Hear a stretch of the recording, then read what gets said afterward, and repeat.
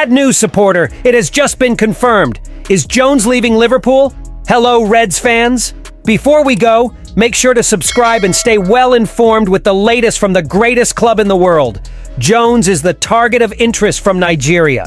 A intriguing story has recently emerged involving Liverpool's midfielder Curtis Jones, who is contemplating his loyalty on the international scene. While this story may lack genuine substance, with the possibility of Jones being coveted by Nigeria due to his grandmother's heritage, the main concern wouldn't only be losing him to another international team, but also the risk of him being absent in January for the 2024 Africa Cup of Nations should he make the move. Liverpool fans acknowledge the need for at least one more midfielder in the team, especially considering that Wataru Endo will lead Japan in the Asia Cup, a tournament concurrent with the AFCON. The idea of losing Curtis Jones during this mid-season tournament is unimaginable, raising questions about how the situation reached this point. Since the end of last season, Curtis Jones has been a regular starter and a key player for Liverpool, contributing to most victories. However, after his suspension, more experienced players were preferred, indicating a shift in the team's dynamics. The transition to a younger and more ambitious team, dubbed Liverpool 2.0, led to the departure of veteran players like Milner, Fabinho, Oxlade-Chamberlain, Keita, and Henderson. The continued selection of former captain Henderson, now at Al Ettifaq FC, for the national team despite playing in the Saudi Pro League is not surprising. Southgate's decision to maintain senior players like Maguire highlights his preference for loyalty.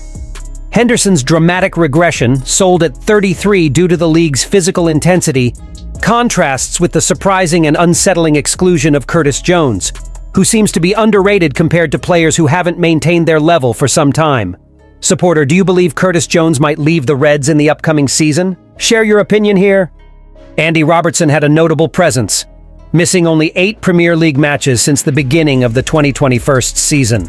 Starting in 104 out of the last 122 Liverpool League games, Mo Salah, with 109 appearances, and Trent Alexander-Arnold, with 105, were the only outfield players used more frequently by Klopp in the same period. However, after a shoulder injury during international duty, Robertson faces the possibility of his longest absence since 2017. Steve Clarke confirmed he will return to Liverpool but his availability for the November international break remains uncertain. Showing signs of significant discomfort and a possible shoulder dislocation, Robertson left the field with the assistance of the Scotland medical team. Coach Clarke hopes to have him back, but the extent of the injury is still unknown.